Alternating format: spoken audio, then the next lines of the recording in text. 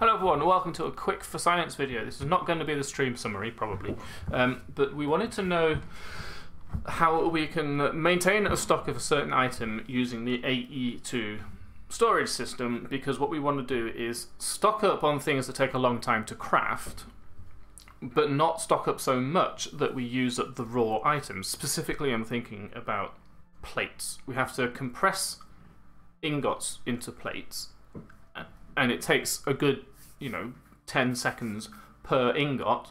Many things take, you know, 8, 16 plates, something like that. So it takes ages to craft those things, and we don't want to be doing it on the fly. So one way that you can, uh, we're back in the test world that we used a while ago, and one way that you can do that is to have an interface like this. And in this config, you've seen this before, um, and we have a crafting recipe from previous experiments whereby if we ask for Restonia gears, uh, well, the can craft Restonia gears. So we put that in here. Look, you can craft empowered Restonia gears in that place. Now you'll notice that there runs there are no gears in the system, and if a gear shows up in the system uh, via by means of this, for example, Restonia gear. I'm going to do it this way rather than crafting it. Uh, please give me uh, a lot. Okay. Then those will disappear. Or one of them will. One, one of them will. One, one of them will? Restonia gear? You on the same network? Are you on the same network? That's a good question. Oh, that's a Restonia. I've done it already. That says empowered and that doesn't. There we go. And then go away. Right. The fact that it didn't replace the crafting recipe with the things I put in should have been a clue, but I didn't notice. So that's in there. Okay. Take that out, you get another one. Take all of these out. You can craft them. Take this out, you don't get the thing. Right? So what you can do is you can actually ask for a stack.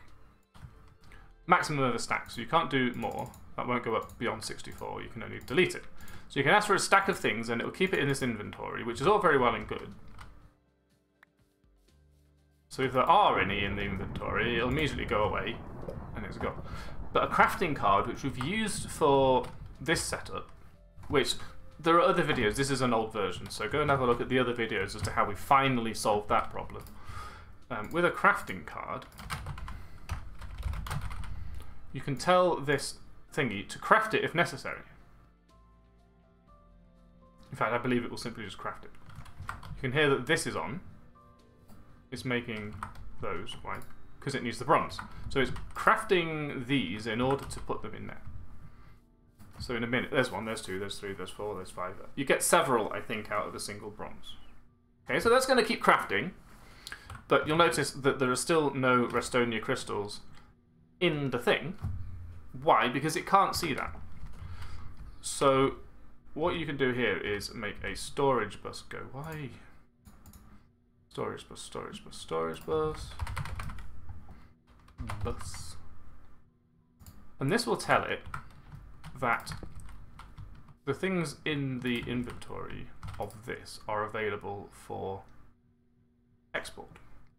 Um, now, the curious thing here is that I thought that this would give me the option of not um, using the items in the inventory. So I believe that it's smart enough, therefore, not to keep pulling this out and putting it back in again to satisfy the problem. It needs 64 and it hasn't got 64, so it's going to craft the rest. Um, but you'll see now that these should be available in this inventory. Thus, we can keep a stack of something, and if we wanted to, we can keep a second stack. And this will just keep crafting. So you can you can fill this up. It scales a little bit. Um, there are other options, and I want to see what happens if we try them. So I'm going to set up the next thing, and we'll see what it does. So back in a tick. So the first thing I'm going to do is I'm going to take something that we have an infinite amount of, which is apparently just that. Why is that? Can I fix this? Maybe. Oh, because I've got a search going. Get rid of that. Right, so let's say we wanted to keep these in there, right? So if I ask this export bus to start exporting those, it's going to. How fast? That's interesting. It stop. Oh no, four, five, six. So I think that there is a as a Go Faster card. So this should make this go a bit faster. Look at the, the number up there, right? 37, 45, 53. Uh, there's keys we can use. One of which is a quantity key. Which will tell us how many there are, right? We can also lock it. So now this will not put anything in the other ones, unless, uh, at least until that's full, right? So that I think holds 1,020, 1,024 altogether of any item, maybe. Maybe 1,024 stacks? It stopped, right. So, this is trying to export that, but it can't. It stopped. So what happens if I now ask it to export something else? So we need a capacity card, because this allows you to ask for more things. I'm going to put it in until the network is empty, then try the next ones. Or using round robin mode, which will do one, then the other, then the other, then right one at a time. Right? That makes sense. So the network's never going to be empty, so it's never going to try the next thing. But we can ask for maybe copper ingots and these things. It doesn't matter what we put in here. I want to see what happens. It's going to do one, two. Oh, we have to unlock this. It's still doing that, but then it's done that, and then it's done that. So let's get rid of that and lock it. So it's still doing these two, even though it can't do that one.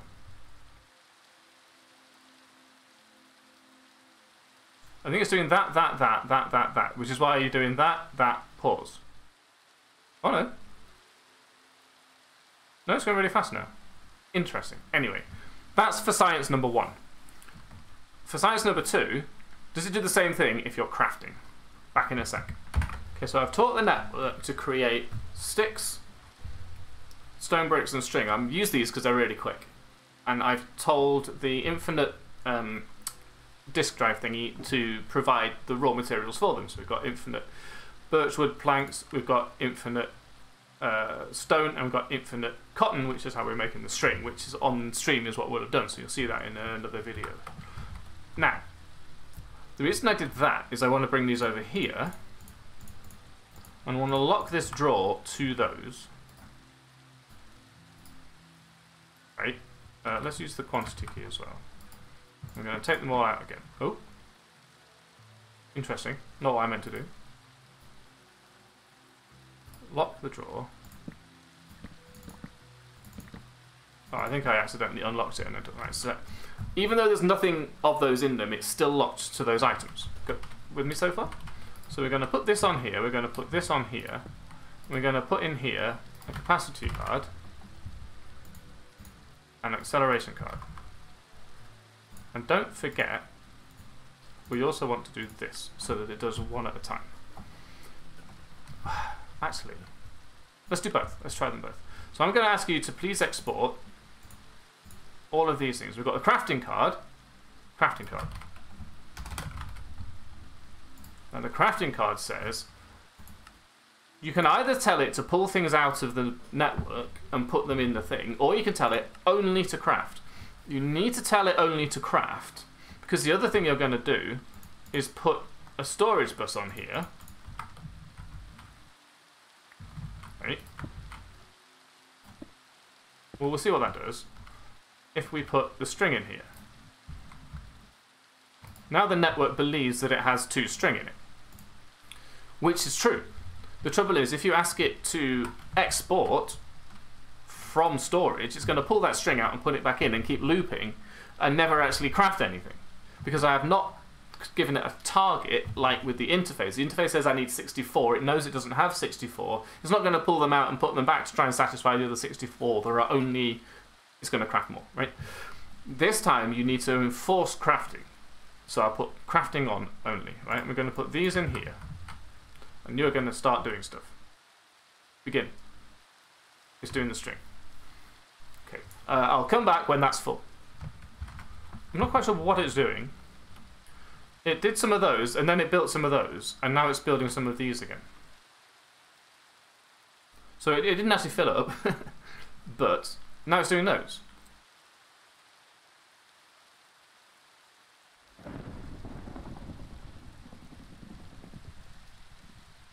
I wonder if this is a I've got a co-processing, right? So it should be able to do two crafting recipes at once. But look, that's uh, telling you what it's making, which is pretty cool.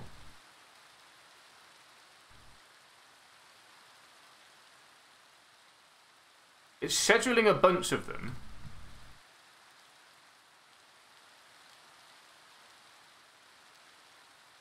And then outputting all of those. That's interesting. So what happens if we float that? Back in a sec. Okay, so I've filled it up with creative mode. And it is just outputting the other ones. And I'm guessing that it's never trying to craft string. Let's watch this and see.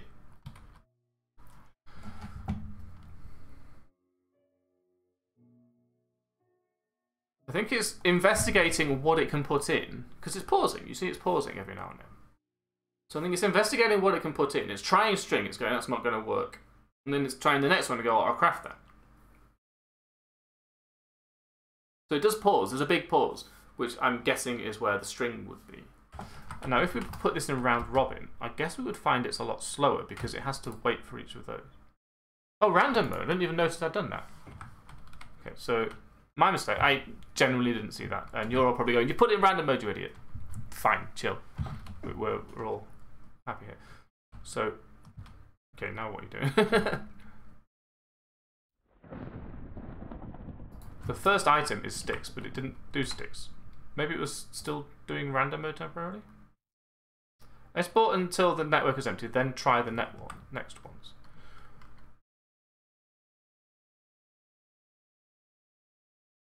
Okay, and now if you put it in round robin mode, it's probably going to do a bunch of those sticks and a bunch of those.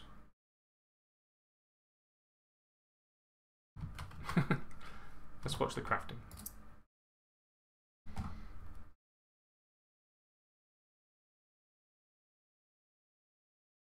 Back on sticks.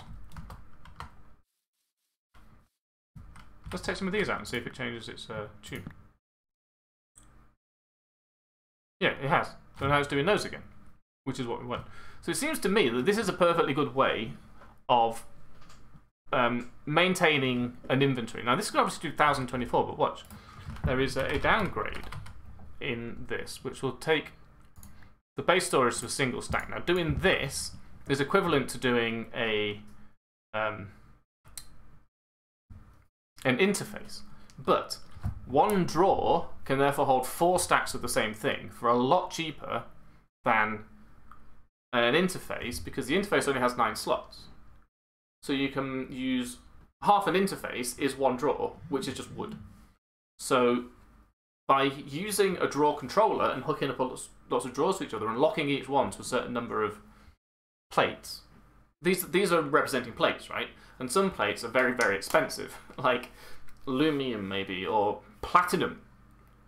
We don't want to be creating entire reams of these things because it's going to use up all of our ingots.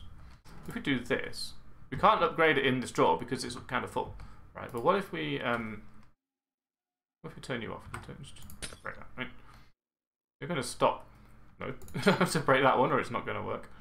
So if we uh, take everything out of here.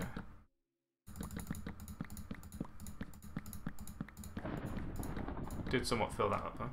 And then do that. And then do that? Does that work? Yeah. So now this can only hold 64 of each. Let me put this back. Now you're going to try exporting stuff, but you can't. You're going to try crafting anything? No. This is working perfectly. I was expecting to have to solve this problem, but I don't. So let's take one of these out. It's going to put it back. Perfect. Now, here's the question. I just made a bunch of sticks. You make two sticks with each one of those. Where's the other stick? From 95 sticks in this system, but only 64 of them in here. Where's the rest? It must be in the disk. Right, so let's take this out. Oh, wait. Did I delete that by accident, maybe? Where did it go? Sticks. 64. Take one out. 64. Crafting a bunch. Why did you make 30 sticks? Just to put one in there. Still only got 64. Disc? Am I back? No? no discs allowed here. Okay, let's um, trash these. And then get a disk uh, cell. It's a storage cell.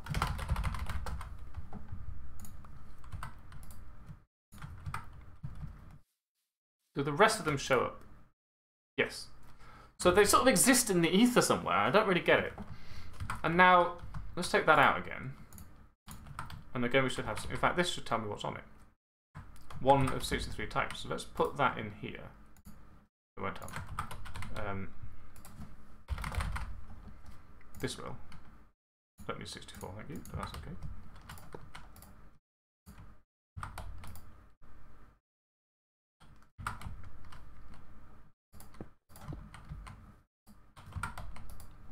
You've got 31 sticks. Take one out, pass it around. You now have 64 sticks in the system, again, because you're going to create one. There we go. Right. Take a string out. Does it still create it? Because now there's sticks in the ether. Like, where did they go? Is it stuck?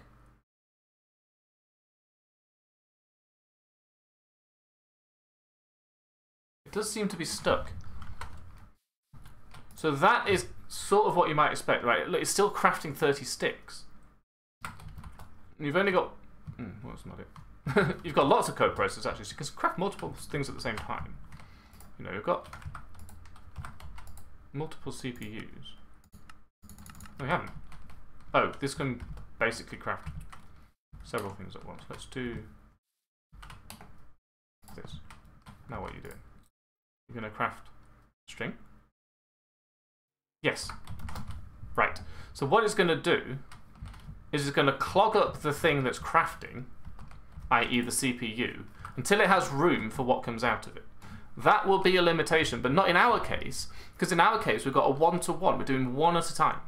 So as soon as it needs one, it's going to craft as many as it can at once, which is to say the string recipe creates more than one string. I don't know why it created 30. That seems silly.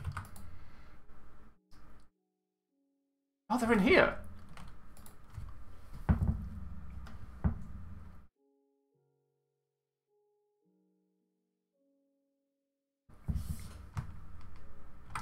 Why does it create 30 when I only need one?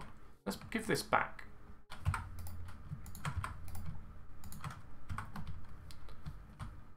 No, wrong one. Put this back. Why does it create 30 when it only needs one? Because these are all now going. There you go. That, you know, there's 95. But this says only craft, right? You can't use the ones that are in the disk. So every time I take one of these out, it's going to craft some more.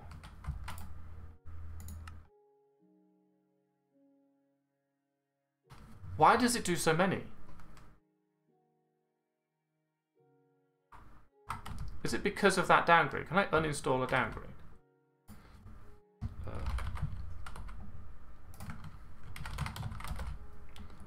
Can I like remove it?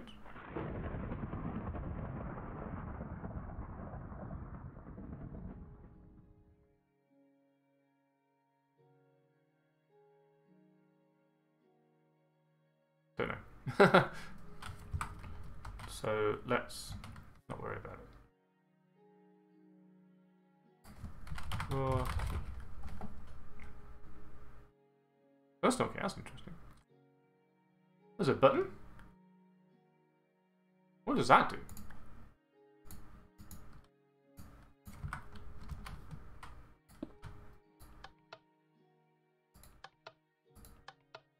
no idea. Interesting. Anyway. I think that the fact that we're going to have... It's only going to craft one. It should only craft... Well, I guess we find out back in a minute. Okay, so I've put 64 bricks in there and I've locked it. So now we can only put bricks in. I chose bricks because the crafting recipe makes one at a time. Did I put the crafting recipe in the machine? No. We make one brick using nine brick bricks, right? This is in everything mode, but I've not told it to do bricks yet. So please give me one brick. output bricks. Right, how many did you make? it'll be in here. 69, 77, it's making a ton of them. Why? Good question. Let's smash this. Let's now do this, but without the um, just one. Without the limit. We lock it, put a brick in it, put an expert expert bus, expert boss. Put all of this in, and you ask it for that brick. So now you're on zero bricks, but you have not allowed to use stocked items. I'm guessing what it's trying to do is fill it up as fast as possible. So it sees that there's space. It could be that it's not reporting back correctly how much room there is for the bricks. So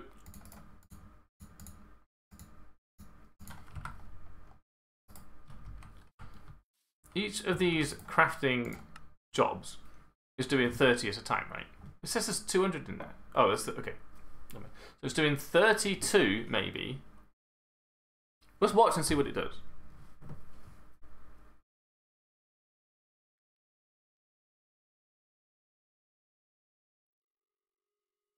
Yeah, it said 32 immediately. So it's trying to do half a stack at a time.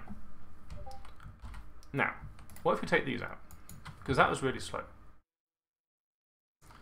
So the acceleration card could be saying make 32 at a time and then dump them in. Right? That might be the issue.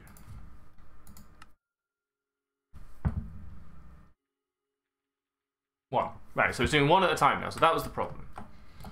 When it comes to the exporting of um, plates, we want one at a time so that nothing gets stuck. But it doesn't matter that we do one at a time because the biggest bottleneck in creating the plates is actually creating them in the first place. So if it asks for a plate, it's going to be a while before it gets one. So it's going to round robin, I think. Um, the only thing that we then need to worry about is the fact that, like even then, what happens if we flood this with bricks?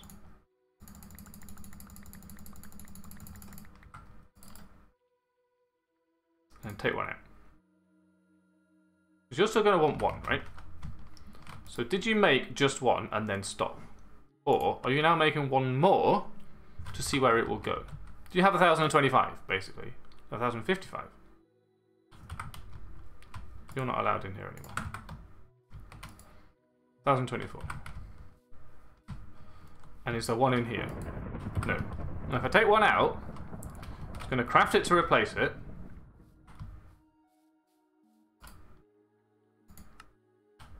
Crafting one, done. So now there's 1024. Did it craft a second one? There's nothing in here. So it seems like the way this works is it puts the result of crafting back into the interface, and that's supposed to absorb it into the system and store it somewhere. So having taken away the disk drive, we can see what that overcrafted. So the acceleration card in here doesn't accelerate the speed with which it exports items, or it does if you're doing an export from storage into the thing. But if you're doing crafting, it accelerates the number of items that it attempts to craft at once, which is bad news bears, because if we're only doing one at a time, and we don't want to overfill because there's nowhere else to put these items, right? Because we're crafting them, that means this is the only place those items can live. Which means if something gets pulled into the system and isn't allowed to go in there, they're just going to get stuck in the interface. Now, what has made me wonder is that this has not then gone. Because let's say we had accidentally overcrafted and done that, right? This is going to try and craft it, but that should get immediately filled up by that. The storage bus will go, oh, I've got a place for that. 42. What did we have before? 43. Are you also crafting one? Maybe it crafted one. Let's take one out. That was 43. Now it should be on 42. It's going to go back up to 43 because one got crafted, right? No? So I suppose to an extent it doesn't matter. If the system is isolated and it crafts eight copper plates, but doesn't have anywhere to put the copper plates, it'll stay in the inventory of the interface. But then when we use one, instead of exporting it through the export bus, the storage bus should get there first and put that thing into it, and then the export bus doesn't need to do anything. I don't think we can rely on that, so I'm not going to do that. I'm going to let it go one by one in real life. But we have for science diff. That is a way you can limit how many things that you have in the system. So if we put a void downgrade, not void downgrade, one of those, you know, single stack downgrades onto one of those and use as many boxes as we want to force how many stacks we keep, that's a very cheap way of ensuring that we've only got one, two, three, four stacks of a particular plate, and it will not craft one until it needs one. And having no room does not stop it crafting the other one, which is perfect. So for science done, we have learned what we wanted to learn. That's going to work, so we'll do that either between now and the next stream or on the next stream, depending on when I get around to doing it. But thanks for watching, and I hope that you will join me for the summary of the previous stream, which is not what this is. That's going to be another video. Hope you've enjoyed it. Hope you learned something. I certainly did, and I will see you then.